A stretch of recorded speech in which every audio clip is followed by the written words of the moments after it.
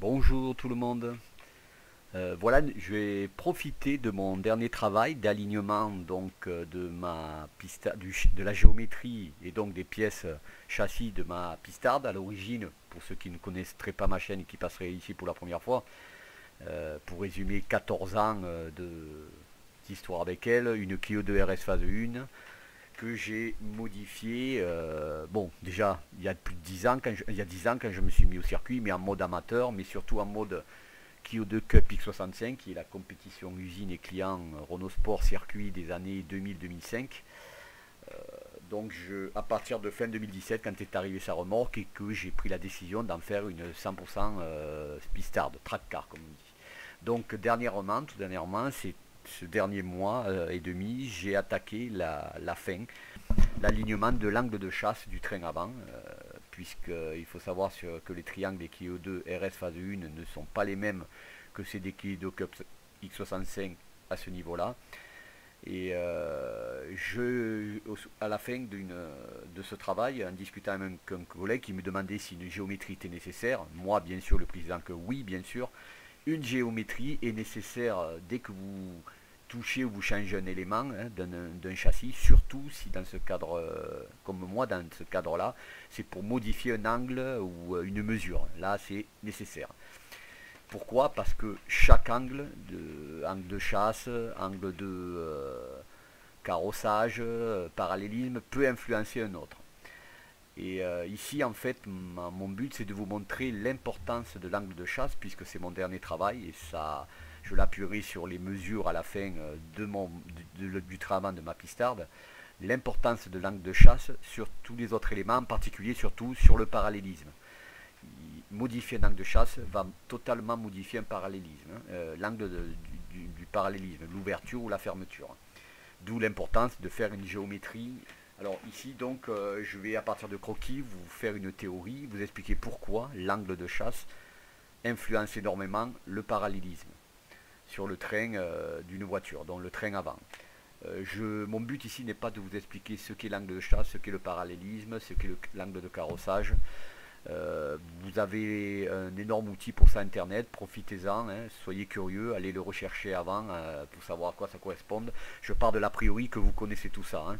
Alors ceci dit, à partir de croquis, je vais faire la théorie et puis à la fin j'appuierai en vous montrant donc l'importance de cet angle de chasse sur le parallélisme, sur les mesures constatées sur ma pistarde, Clio 2 RS Mini Cup. Alors voilà imagé donc un train avant. Euh, désolé, hein, je ne suis pas un grand dessinateur, j'ai fait ça vite fait sur un petit logiciel euh, de manipulation d'images. Mais bon, pour vous, c'est explicite. Hein, pour vous résumer, donc bien sûr vous avez ici le, train avant, hein, qui symbolise en gris le moyeu, on va dire, sur lequel sont posées les roues, avec les pneus ici. J'ai volontairement exagéré le cas de ma pistarde, qui est euh, un parallélisme, une ouverture. Euh, vous pouvez avoir aussi du pincement, c'est très rare, mais en tout cas sur piste, on conseille d'avoir toujours sur le travant de l'ouverture. Donc j'ai volontairement, bien sûr, exagéré ces angles. Hein. Euh, là, ça fait un peu chasse-neige. Donc voilà le, le train avant, les roues, en, bleu, j'ai symbolisé l'angle d'ouverture, le prolongement de l'angle d'ouverture, en bleu ici. En jaune, la direction avant, qui est naturellement euh, euh, perpendiculaire à la, position générale de la caisse. Hein. Ici, vous avez l'avant et l'arrière. Hein. Donc voilà, ça vous donne une idée de, ce que l'on regarde actuellement. Ici, j'ai pris aléatoirement un endroit du pneu, même si ce n'est pas là précisément hein, pour les tatillons, c'est pour vous donner une idée, imager au maximum.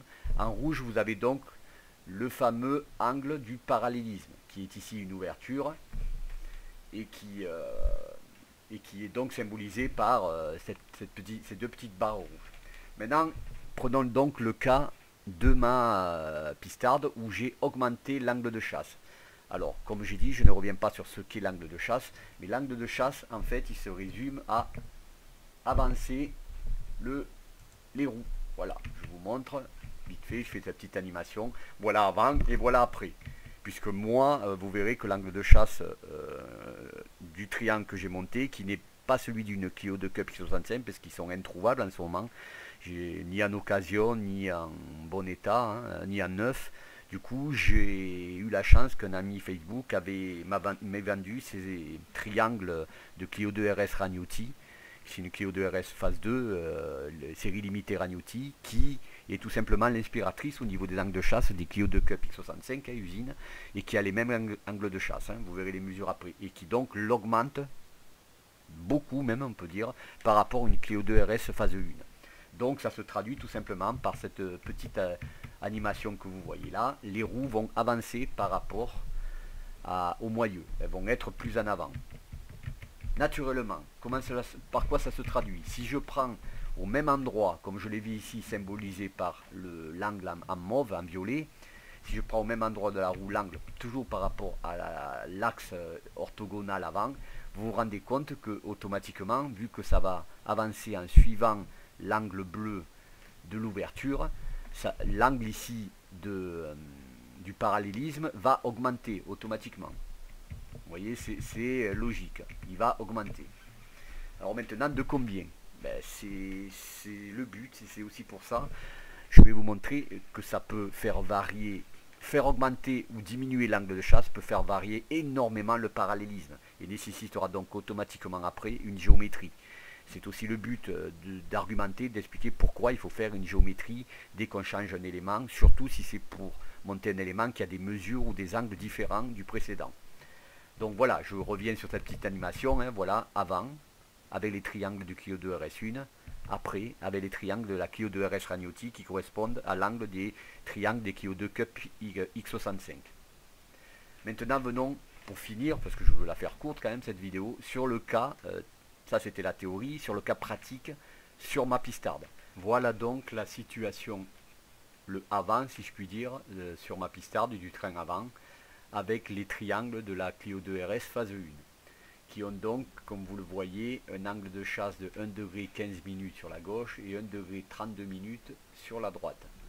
Ça donnait, puisque moi j'avais demandé euh, ce réglage-là, hein, je voulais une ouverture de 7 minutes de chaque côté. Donc imaginez-vous, je vous renvoie vers les vidéos, les combien je ne sais même plus, les six vidéos ouais, de ce montage euh, des triangles, de la dépose des anciens et de la monte des nouveaux, qui sont donc sur la playlist consacrée à ma Clio de RS1 en tant que telle, depuis 14 ans quand même, je rappelle, ça commence à faire. Euh, moi j'ai donc monté tout simplement les euh, triangles de la Clio de RS Ragnotti et je vais vous montrer avant bien sûr de faire une géométrie, par quoi ça s'est caractérisé euh, sur les changements, en particulier du parallélisme, puisque c'est mon but, c'est de vous montrer l'influence de l'angle de chasse sur le parallélisme. Donc ça c'est la situation avant. Voilà la situation après. Je vais vous la montrer. Hop, là j'ai oublié de cliquer. Voilà, avant, après. L'angle de chasse donc passe naturellement est bien supérieur avec ces triangles de Ragnotti, puisque je passe à environ 3 euh, degrés ici, puisque n'oubliez pas que nous sommes dans une base 60, hein. on n'est pas dans une base 100, hein. donc 3 euh, degrés, et là 3 degrés 18. Vous vous doutez bien que vous voyez l'avancement symbolisé sur l'animation, qu'automatiquement quand je prends au même endroit l'angle euh, du parallélisme, donc de l'ouverture, puisque le pneu suit toujours l'angle bleu qui symbolise le pneu qui symbolise pardon, euh, l'angle d'ouverture par rapport à la, caisse orthogonale, l'angle jaune, ici le violet va bien augmenter. Maintenant de combien? Bon, vous voyez quand même que c'est pas négligeable l'augmentation hein, quand même euh, de l'angle de chasse. Hein. C'est vraiment pas négligeable. Donc, à votre avis, ça va augmenter de beaucoup, de peu? Euh, moi, je, savais que ça allait augmenter, bien sûr. Mais je ne m'attendais pas à ça, puisque voilà les chiffres tout simplement avant la géométrie, donc le premier contrôle que me fait mon géomètre euh, dans le garage, puisque moi j'ai un géomètre qui se déplace dans le garage, euh, on est passé, vous voyez, de 7 minutes à 1 degré 37 minutes côté gauche et 1 degré 27 minutes côté droit d'ouverture. D'ouverture. Vous imaginez, autant dire que en l'état, si je l'avais laissé sans faire de géométrie, ma pistarde était devenue un chasse-neige. Euh, tout simplement. Hein. Là, là, je peux dire qu'arriver à ces mesures-là, en ayant juste changé les triangles avec un angle de chat supérieur, en avait fait réellement un chasse-neige et l'image de mon angle là, euh, où je l'exagère volontairement, ben, là il n'était pas très exagéré. Hein.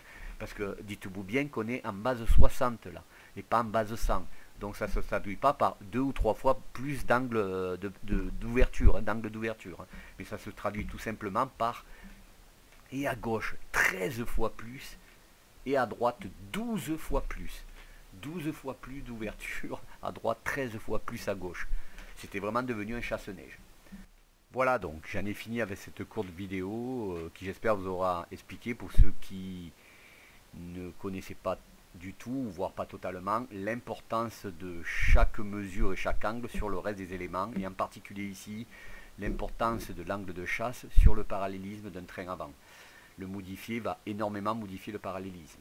Naturellement, je précise que là, moi j'ai pris le cas d'une ouverture et d'un angle de chasse supérieur, ce qui va avancer le pneu, comme vous le voyez hein, sur l'animation euh, avant, hop là, je reviens, avant, après. Hein. Mais si vous faites, bien sûr, euh, si vous le diminuez, l'angle de chasse, c'est-à-dire que vous allez reculer le les, roues, l'axe des roues par rapport au moyeu, qui est symbolisé en gris ici, ça va automatiquement pas augmenter l'ouverture, si c'est une ouverture, mais si vous suivez la flèche bleue, ça va la diminuer. A l'inverse, si vous aviez du pincement, c'est-à-dire que la, pointe des roues des pneus serait, devant serait euh, plus vers l'intérieur par rapport à l'arrière, augmenter l'angle de chasse augmenterait la pince et diminuer l'angle de chasse diminuerait la pince. J'espère que ça aura été explicite. Allez, ceci dit, à bientôt, portez-vous bien.